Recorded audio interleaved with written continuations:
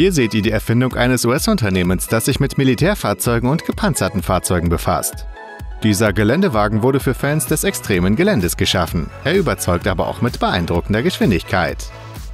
Die Ingenieure sind zuversichtlich, dass dies die schnellste zweispurige Technik auf dem Markt ist. Schließlich ist das Herz des Geländewagens der Duramax V8-Motor mit 811 PS, der für eine Beschleunigung auf 97 km pro Stunde sorgt. Das Gewicht beträgt ca. 4,5 Tonnen. Das Fahrzeug ist für vier Personen ausgelegt. Und mit einer Bodenfreiheit von ca. 51 cm und vielseitigen Allwetterketten meistert der Fahrer nahezu jede Strecke und bei jedem Wetter. Die Kosten belaufen sich auf etwa eine halbe Million US-Dollar.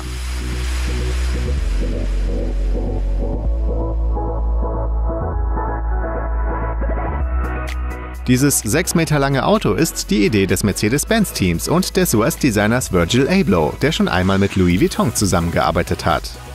Interessanterweise ist das Auto mit dieser beeindruckenden Länge nur für zwei Personen ausgelegt. Es handelt sich um ein Offroad-Elektrocoupé.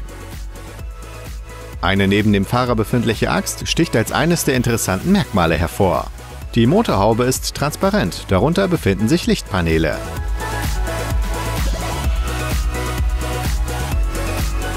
Der äußere Überrollkäfig kann als Kofferraum genutzt werden.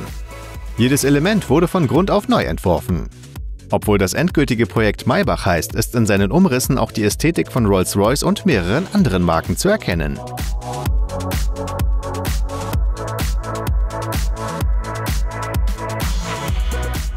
Dieser SUV von Brabus kostet rund 800.000 US-Dollar. Kein Wunder, wenn man seine Eigenschaften genauer betrachtet. Das Fahrzeug beeindruckt mit einem Motor auf Basis des AMG V8. Die Bestleistung liegt bei 900 PS. Dank dessen dauert die Beschleunigung von 0 auf 100 km pro Stunde nur 3,4 Sekunden.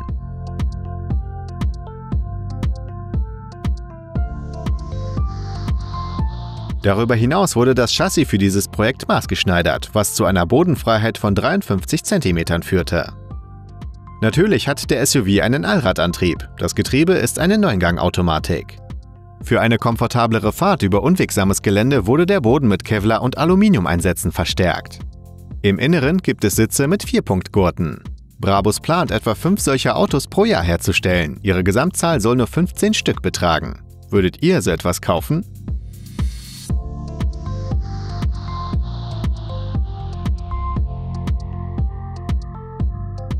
Nun geht es nach Rumänien. Die dortigen Handwerker sagen, ihre Idee sei ein Mix aus Batmobil und dem ursprünglichen Hammer. Und das Ziel des Projektes war, ein universelles Auto zu bauen, das unter den schwierigsten Bedingungen fahren konnte. Daher ist es möglich, das Fahrzeug an die Bedürfnisse von Ärzten, Feuerwehrleuten und Rettungskräften anzupassen. Die Abmessungen sind 5,2 x 2,7 x 4 Meter. Das Gewicht hängt von der Konfiguration ab. Auf der Website ist von 3,2 Tonnen die Rede. Der Kunde kann zwischen einem Dieselmotor bis 304 PS und einem Benzinmotor bis zu 500 PS wählen. Es gibt auch weitere Upgrade-Optionen, zum Beispiel Raupen statt Hinterräder. Die Entwickler sind sich sicher, dass es für einen erfahrenen Fahrer praktisch keine Einschränkungen auf der Route gibt.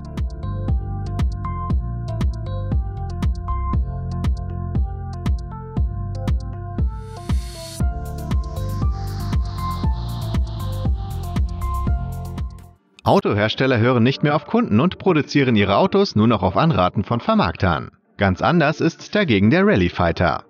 An seiner Entwicklung hat ein Team aus Enthusiasten aus aller Welt mitgewirkt, noch dazu nach dem Open Source Prinzip. Jeder konnte also seine eigene Idee einfließen lassen.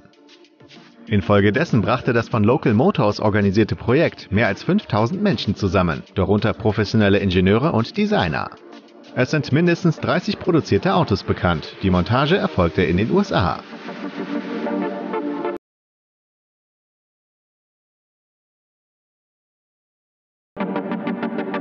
Das Design verwendete sowohl fertige Elemente anderer Autos, zum Beispiel General Motors V8-Motoren mit 6,2 Litern, als auch Originalteile, zum Beispiel unabhängige Vorderradaufhängung.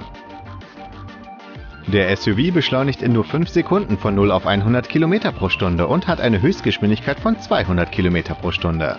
Leider wurde die Firma Anfang 2022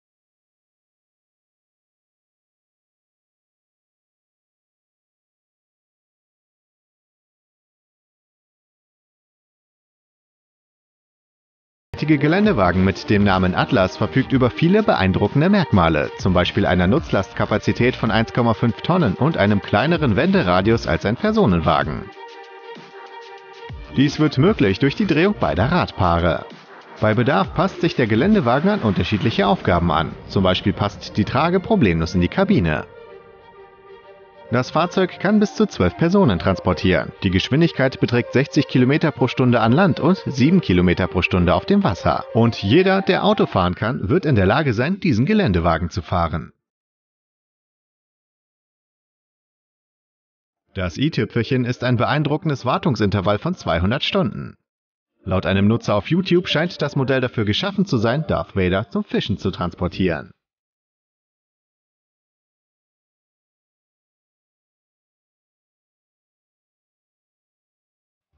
Das hier ist eine spannende Erfindung des Ariel-Teams. Sie sind bekannt für Bausätze für ultraleichte Sportwagen.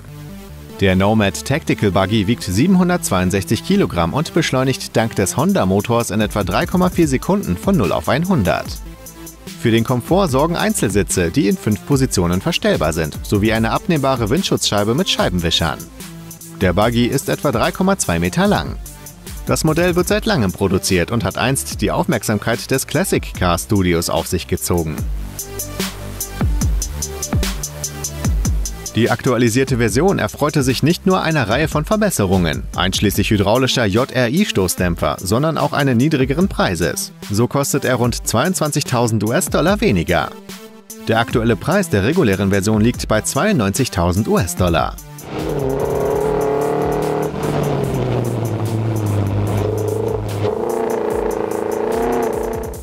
Die Geschichte dieses Geländewagens ist sehr interessant. Er wird mit Fürst Albert II. von Monaco in Verbindung gebracht. Er besuchte einmal die Antarktis und sagte nach seiner Rückkehr, dass er zum Bau eines komplett elektrischen Geländewagens für solche Expeditionen beitragen werde.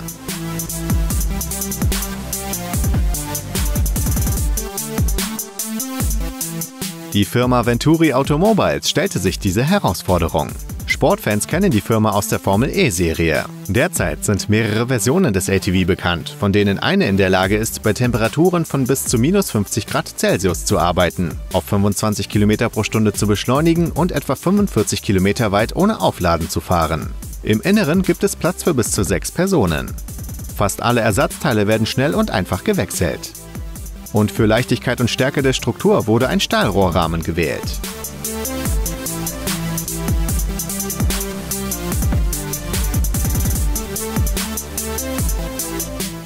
Hier kommt ein Meisterwerk der Ingenieurskunst aus Australien. Ein SUV, der nicht nur mit seinem Design, sondern auch mit dem Allradantrieb von Flüssigkeitsmotoren hervorsticht. Der Gedanke dahinter ist ziemlich raffiniert. Vier Flüssigkeitsmotoren sind mit einer Pumpe verbunden, die eine spezielle Mischung durch sie pumpt, die zu 95% aus Wasser besteht. Und die Pumpe arbeitet mit Hilfe eines Motors aus einem BMW 1200 GS Motorrad. Laut den Ingenieuren erreicht der Wirkungsgrad von Flüssigkeitsmotoren 98% Davon wiegt jeder etwas mehr als 11 Kilogramm. Es wurde eine Schubvektorregelung implementiert, das heißt die Motoren wirken auch als Bremse. Darüber hinaus ermöglicht eine spezielle Balancer-Aufhängung ein sehr ruhiges Fahren, wodurch Stöße und Vibrationen vermieden werden. Das Team hatte vor, eine kleine Charge von Autos zu produzieren und stellte fest, dass dies eine sehr vielversprechende Technologie ist. Die Preise beginnen bei etwa 354.000 US-Dollar. Daher bleibt die Erfindung für viele nur ein Traum.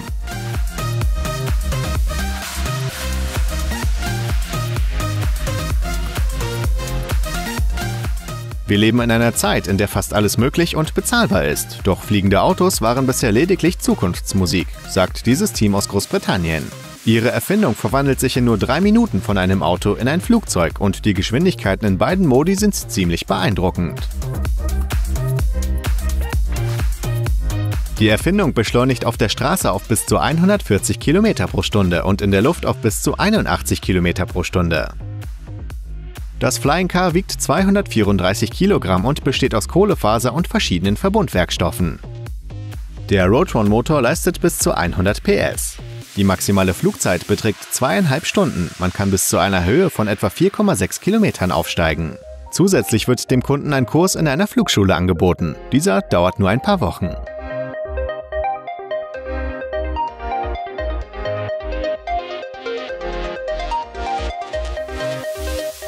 Wo die Straßen enden, beginnt die Weite für solche Geräte. Dies ist ein Schnee- und Sumpffahrzeug, das sogar mit einer Last von 350 Kilogramm schwimmen kann. Die Technik wird in St. Petersburg entwickelt. Spannend sind vor allem der Rahmen und die Kraftübertragung auf die Antriebswellen. Der Motor leistet 18,5 PS, der Kraftstoffverbrauch beträgt 1 bis 1,5 Liter pro Stunde. Zusätzlich ist ein Generator zum Anschluss diverser Geräte mit einer Leistung von bis zu 200 Watt vorgesehen. Die Tragfähigkeit des Schnee- und Sumpffahrzeugs beträgt 500 Kilogramm. Die Bereifung erfolgt auf Kundenwunsch schlauchlos.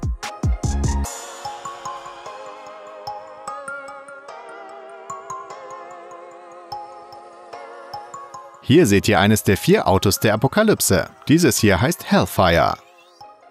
Diese Fahrzeuge werden in einem Tuningstudio in den USA gebaut. Neben Hellfire gibt es auch Doomsday, Sinister 6 und Warlord. Als Basis für Hellfire nutzten die Handwerker den Jeep Gladiator, der maßgefertigte Kotflügel, Motorhaube, dritte Achse und weiteren Schnickschnack erhalten hat.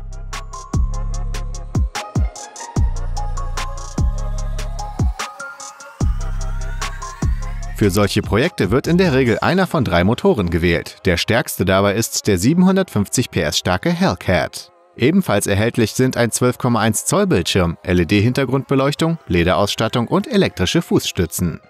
Die Kosten beginnen bei 155.000 US-Dollar. Diese Art von Tuning scheint gefragt zu sein, denn allein von Hellfire gibt es bereits 80 Stück. Eines der Autos nahm sogar an der Show Jay Lenos Garage teil.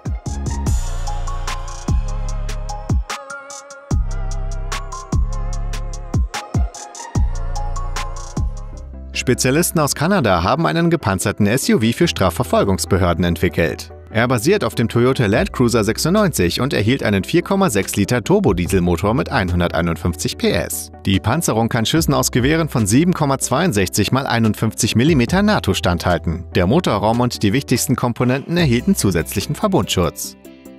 Drinnen gibt es sechs Sitze sowie eine Klimaanlage. Die Länge des Autos beträgt etwa 5 Meter, der Radstand 2,7 Meter.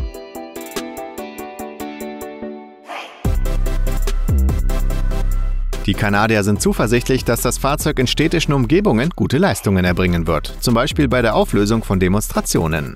Dafür stehen Sirenen, eine Beschallungsanlage, ein abnehmbarer Fenstergitterschutz und Kameras mit einem Blickwinkel von 360 Grad zur Verfügung.